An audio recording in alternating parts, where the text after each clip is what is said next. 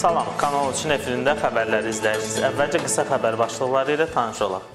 Ombudsmanın maaşı qaldırıldı. Rafiq Tağının qətli ilə bağlı işdə yenilik varmı? Həbsdə olan şairin səhhətində problem yarandığı deyilir. Orxan Baxışlıya bəraət istənilir. Abu Talıbovun bağlatdırdığı 26-lar kafesi yenidən açıldı. Azərbaycan neftinin qiyməti 65 dollardan da aşağı düşdü.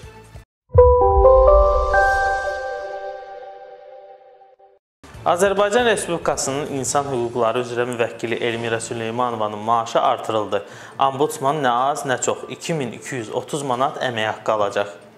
Azərbaycan Respublikasının insan hüquqları üzrə müvəkkilinin maaşı artırılır. Bununla bağlı Azərbaycan Respublikasının insan hüquqları üzrə müvəkkili haqqında qanunun 16-cı maddəsinə dəyişiklik edilir. Dəyişikliyə görə müvəkkil 2230 manat məbləğində aylıq əmək haqqı alacaq. Hazırki qanunvericilikdə isə belədir. Müvəkkil 2025 manat məbləğində aylıq əmək haqqı alır. Qanunun 1-ci maddəsində nəzərdə tutulmuş dəyişiklik 2018-ci il mayın 1-dən tətbiq tətbiq ediləcək. Ombudsmanla bağlı qanuna dəyişiklik layihəsi Milli Məclisin noyabrın 27 və 30-da keçiriləcək iclasında müzakirəyə çıxarılacaq. Hazırda Azərbaycanın insan hüquqları üzrə müvəkkili 81 yaşlı Elmira Süleymanovadır. Ombudsman Elmira Süleymanovanın səlahiyyət müddəti 2017-ci il martın 5-də başa çatıb, lakin yeni ombudsman seçilmədiyindən o fəaliyyətini davam etdirir. Xatırladaq ki, Elmira Süleymanova 2 dəfə 2002 və 2010-cu illərdə ombudsman seçilib. Qanunvericiliyə görə Azərbaycan Respublikasının prezidenti Milli Məclisə yeni ombudsmanın seçilməsi üçün 3 şəxsin namizədliyini təqdim edir. Milli Məclis 15 gün müddətində yeni müvəkkilin seçilməsi ilə bağlı müvafiq qərar qəbul edir.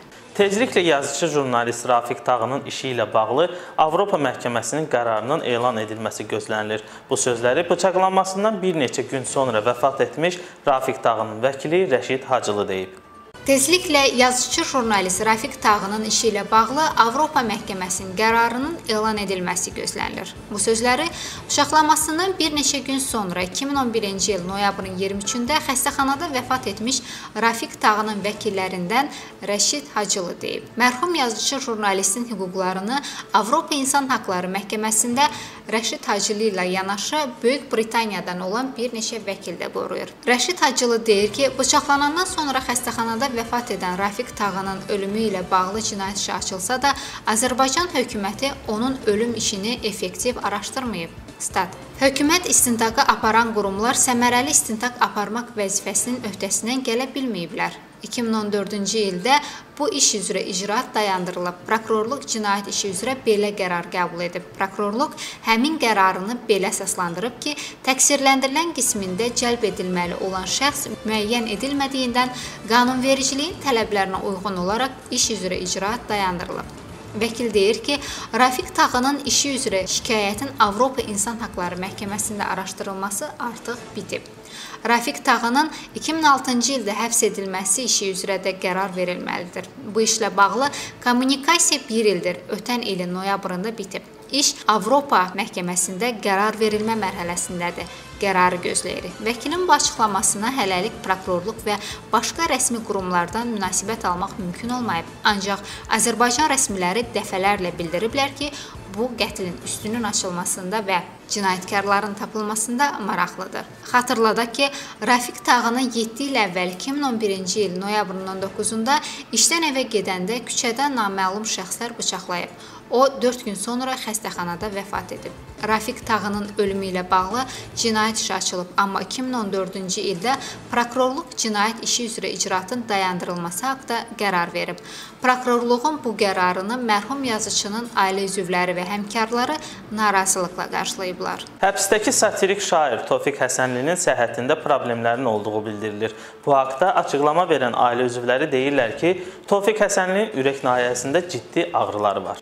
Həbsdəki satirik şair Tofiq Həsənlinin səhhətində problemlərin olduğu bildirilir. Bu haqqda açıqlama verən ailə üzvləri deyiblər ki, Tofiq Həsənlinin ürək nahiyəsində ciddi ağrılar var. Bildirilir ki, 6 saylı cəza çəkmə müəssisəsində saxlanılan şairlə telefonla danışılıb. Stat. Tofiqin səhhətində problemlər yaranıb. Onun kəskin ağrıları olur. Ürək nahiyəsində ciddi ağrıları var. Əl-ayağında qıcolmalar baş verdiyini deyir. Böyrəyindən də şikayətlənir. Onu incitdiyini söyləyirlər. Ailə üzvlərinin sözlərinə görə Tofiq Həsənlinin müalicə və müayinə edilməsinə ehtiyac var və bunun üçün gərəkli addımlar atacaqlar.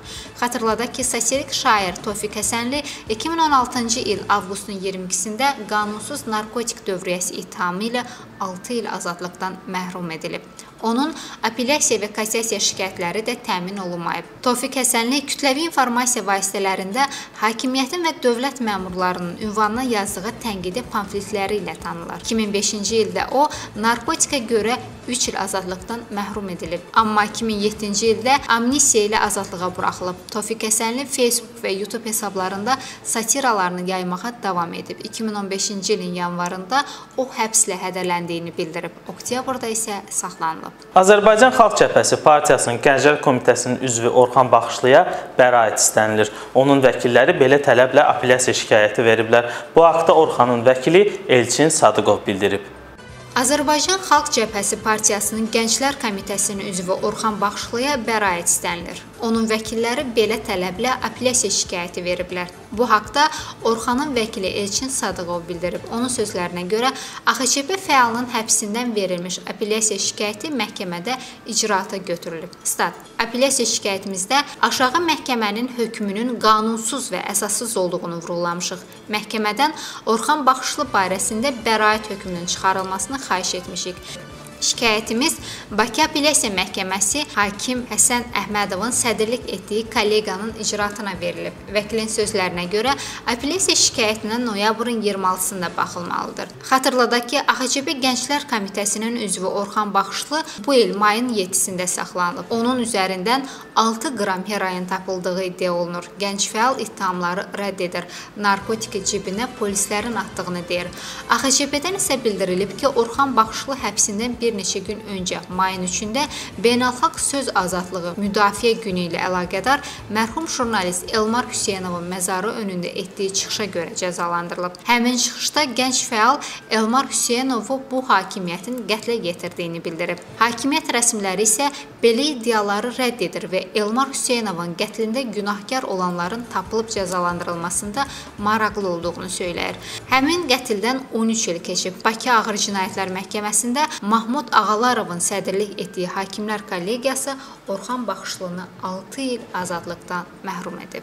Hacıbala Abutalovun təxminən 1 il əvvəl bağlatdırdığı Azərbaycan Yazıçılar Birliyinin nəzdində olan və icarəyə verilmiş kafe yeni adla fəaliyyətə başlayacaq. 26 yox, 13 adı ilə. Təxminən 1 il əvvəl Azərbaycan Yazıçılar Birliyinin nəzdində olan və icarəyə verilmiş kafe yeni adla fəaliyyətə başlayacaq. 26 kafesi 13 adı ilə fəaliyyətə hazırlaşır. Belə ki, fotolardan da göründüyü kimi artıq kafenin üzərində 13 rəqəmini simvolizə edən lövhə vurulub. Yaxında fəaliyyətə başlayacağını əks etdirən şəffaf örtük çəkilib. Qeyd edək ki, təxminən 1 il əvvəl Yazıçılar Birliyinin inzibati binasında yerləşən başı bəlalı kafe Sovet rejiminin dırnaqarası fədailəri hesab edilən 26 Bakı komissarının şərəfinə adlandırılması ittihamı ilə bağlanmışdı. Hətta kafenin o zamanki sahibi saxlanılmış, məsələyə Bakı şəhər icra hakimiyyəti səviyyəsində müdaxilə edilmişdi. Azərbaycan neftinin qiyməti 65 dollardan da aşağı düşdü. Ekspertlər qiymətin daha da aşağı düşəcəyini deyir. CIF bazisi üzrə İtaliyanın Augusta limanı şərtləri ilə Azərbaycanın yüngül neftinin qiyməti noyabrın 22-sində 64,98 dollar barel təşkil edib ki, bu da çərşənbə gününə olan göstəricidən 0,46 dollar azdır. FOB bazisi üzrə Türkiyənin Ceyhan limanında Azərbaycanın yüngül neftinin qiyməti noyabrın 22-sində 63,64 dollar barel təşkil edib ki, bu da əvvəlki qiymətdən 0,45 dollar azdır. Novorosiysk limanında yüklənən Uras neftinin qiyməti noyabrın 22-sində 59,61 dollar barel təşkil edib ki, bu da əvvəlki qiymətdən 0,68 dollar azdır. Şimal dənizindən hasil edilən Brent etalon növlü neftin qiyməti noyabrın 22-sində 61,43 dollar barel təşkil edib. Bu isə əvvəlki qiymətdən 0,45 dollar azdır. Bugünlük bu qədər. Bazar ertəsi görüşənə kimi sağ olun, salamat qalın.